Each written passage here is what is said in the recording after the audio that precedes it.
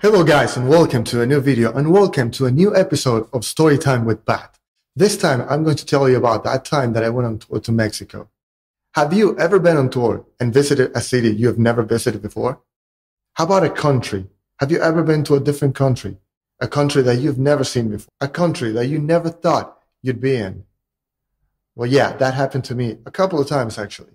But this is going to be a really cool story. But before we get to that, make sure you destroy that like button. Drop me a comment in the comment section down below. Subscribe to this channel like a man if you haven't yet. And if you really want to become a part of the team, man up and hit that join button down there.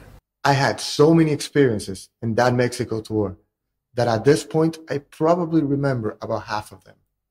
I do have a folder with over 3,000 pictures and so many places I don't remember ever being in. It's amazing. Really a once in a lifetime experience.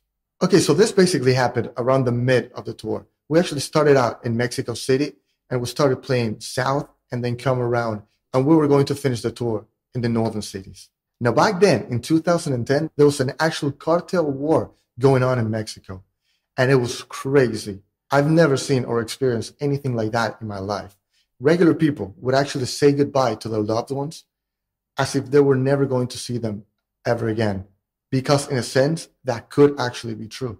And there were a lot of innocent bystanders getting killed every day. A lot of tourists. In fact the week we made it to mexico one of the cartels actually intercepted a bus full of french tourists and they decapitated all of them and they hung them off of a bridge over the highway. Of course i didn't know any of this so i didn't really know what i was getting into.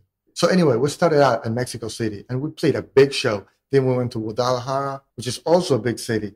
And then we started to play southern cities like Oaxaca, Huajuapan de Leon, Puebla, and so many others. And I was having a blast. But you could tell the atmosphere wasn't really right. There was something off going on. People were actually nervous all the time.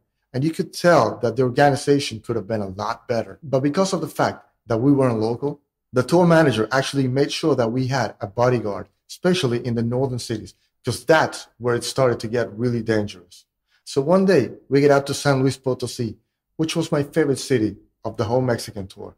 It's not too crowded. It's got really nice architecture, not so much Spanish colonial architecture, but newer European influenced architecture that was really cool. But there was something that really caught my attention. Ever since we started getting closer in the highway to San Luis Potosi, we started seeing a lot of military jeeps with three people on them. One of them was driving, a second guy just sitting next to him with an assault rifle, and a third guy standing in the back in custom vigilance. And I thought that was weird because that was the first time I'd seen that. And at that point, I had been in about eight, nine cities already. Anyway, so we get to San Luis Potosi early. So we actually get the chance to visit the city. And we're walking around being tourists and stuff, just taking pictures and sightseeing and just relaxing and having fun, really. But every now and then, I'd see that Jeep just driving by. Now, the first couple of times, I actually thought it was just the one Jeep that was patrolling. They actually had ski masks on their faces and they had a hat, so it was really hard to tell that it was actually different people. But at one point, at a street corner, I actually saw two Jeeps intersect each other. So I figured, okay, it's more than one Jeep. Anyway, so I just thought it was kind of weird, but at the same time, I knew that the cartel thing was going on, so I figured, you know, they're just there to protect us. So I was okay with it. So a couple of hours go by and we actually get to the place that we have to play in. Now, I don't know if you've ever been to Mexico. I mean, Cancun and Acapulco and those cities are one thing, you know, they're very tourist driven. But the real Mexico is a very different experience altogether. Punctuality is really not their forte. And I don't mean to offend any Mexicans. I mean, they will tell us that all the time. Every time I would ask when the show starts, they would tell me it starts on Mexican time.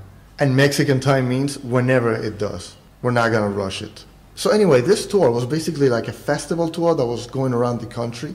So you had like six or seven bands. And we were headlining, so we were the last band to play. And the show was scheduled to start at about 7 p.m., which meant that we would probably go on stage at about 11 p.m. So of course, that didn't happen. So I remember this specifically. We actually went on stage at 2 a.m. in the morning, which in some countries would actually be considered early. But we were on tour, we were tired, and we needed to rest. So anyway, we played the show. We played our set that was anywhere from 13 to 16 songs, depending on how we felt that particular day. So we finished our set. We get off stage. We hung out with the people, took some pictures, signed some autographs, had a little chat. Then we finally made it backstage. Got a quick change of clothes. and we got on the bus. Now, as I'm getting on the bus, I asked the tour manager, hey, are we gonna get some to eat? Because after that show, we're actually going to drive back all the way to Mexico City. And I don't remember how many, but it was definitely more than five hours. And at this point, it was already four in the morning. So I was starving, and I knew that I wasn't going to make it all the way to nine in the morning without eating anything. And we had nothing, we had no food on the bus. So the guy looks at me and says, You know what? It's not a bad idea. We should probably get some to eat before we leave. So he asked me, What do you want to eat? So, of course, I'm in Mexico and I have no idea what's open at that time. And at this point, I was already sick of eating tacos and burritos. So I said, Pizza, you know, the first thing that popped into my head. And he said, Pizza it is. So he tells the driver, You know, let's get some pizza. So he drove around. Of course, we're not from there. We're not from that city. So he drove around for a little bit until we actually found a pizza place. Now, mind you, at this point it's about 4:30 in the morning. So the guy asked me, "What kind of pizza do you want?" Because pizza names in Mexico are very different from pizza names in anywhere else, really. So I had no idea what they had available or what they would even call that. So we decided, let's just go there, look at the menu, and point at a picture of something that we might like. So we get off the bus, and of course, the bus is about half a block away from the pizza place. Because the driver first saw the place and then stopped. So we're about half a block away, not bad. So as we're walking to the pizza place, I see one of those Jeeps just drive in and stop right in front of the pizza place. So we looked at it, but we kept walking towards the pizza place. Now a second Jeep pulls out right behind them, and then a third one at this point, I turn around and I look at my body and I tell them, that's kind of weird, isn't it? So as I turn my head again, I see that everybody from those Jeeps gets off and they run across the street, kick down the door. And I go, whoa, something's going down there. And all of a sudden, all that I see is just flashes coming out of that door. OMG. So I turn around to tell them, let's get the hell out of here. And I discover that I am the only one standing there. So of course, I run into the tour bus. And as I'm going in, the tour manager goes, So where's the pizza? I'm like, Screw the pizza. Let's get the f- out of here. So yeah, thank God we have bodyguard, right? Anyway, don't let me scare you. I'm sure it's 100% different nowadays. It has been 10 years already. But yeah, that was an experience to say the least. Anyway, I really hope you guys enjoyed the story. If you have any stories like these and you want to share them, make sure you do so in the comment section down below. And let me know if you've ever been to Mexico and what was your experience like. Also, let me know if you've ever been on tour because there's always really cool stories from touring bands. Anyway, if you liked the video, don't forget to destroy that like button. Subscribe to this channel like a man if you haven't yet. And if you really want to become a part of the team, man up. Just hit that join button down there. I will see you guys next time. Pat out. Metal on, dudes.